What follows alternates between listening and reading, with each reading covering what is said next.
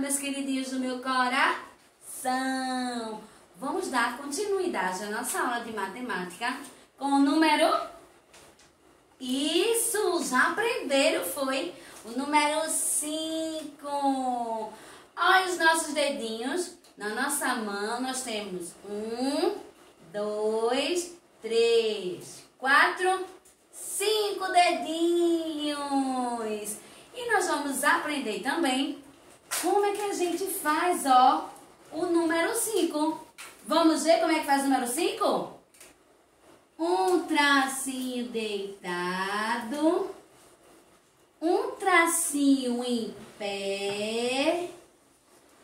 E não podemos esquecer que ele tem o barrigão. Por quê? Comeu muita melancia, muito bem. E o barrigão. Tá vendo? E agora, nós vamos contar, tá certo? Vamos contar quantas verduras titia vai colar aqui. Vamos ver quantas verduras tem. Vamos contar? Uma, duas, três. Vocês lembram do número três? Sim, ó.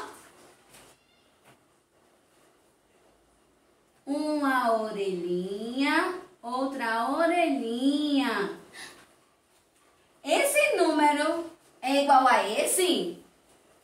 Não, muito bem. No nosso conjuntinho de verduras, nós só temos três verduras. Vamos ver quantas frutas nós temos? Uma, duas, três, quatro, cinco.